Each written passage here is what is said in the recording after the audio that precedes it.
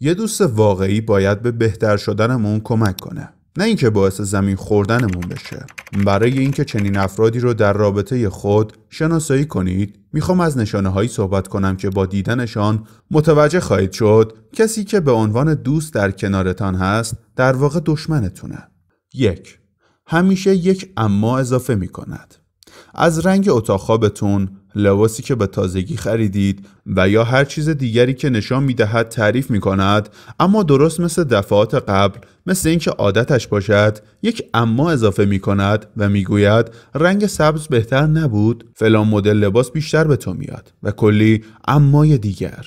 این انتقادهای پی در پی می تواند یک رابطه را به آرامی مسموم کند.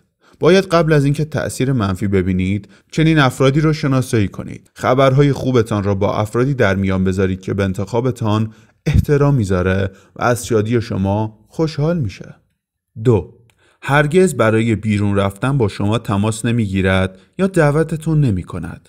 قدیما یادتون میاد که ساعتها تلفنی با دوستتون صحبت می کردید؟ حالا شبکه های اجتماعی برای در دسترس بودن هیچ صدی باقی نگذاشته اما به جدا ماندن روابط نیز کمک کرده.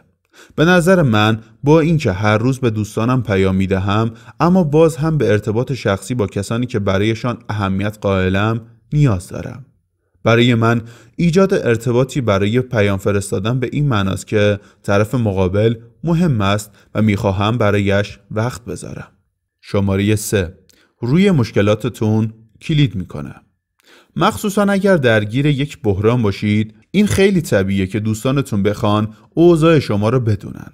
اما در این میان دو نوع سوال از شما پرسیده خواهد شد.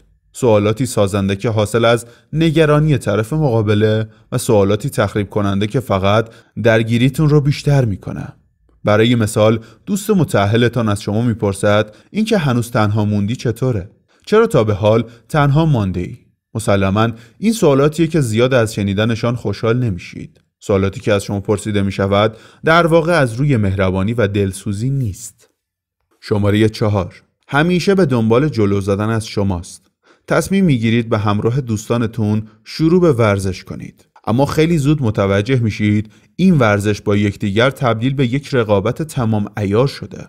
به شما میگه من قبل از آمدن به باشگاه فلان اندازه شنا رفتم و تمرین تردمیل را هم تبدیل می‌کند به یک مسابقه دو. این در حالی است که تحقیقات نشان داده همراهی با یک دوست در طول ورزش باید براتون الهام بخش باشه و رقابتی دوستانه ایجاد کنه. عبارت اصلی در اینجا دوستانه است. اگر چنین نیست توصیه می کنم به تنهایی عرق برزید تا با یک آینه دق.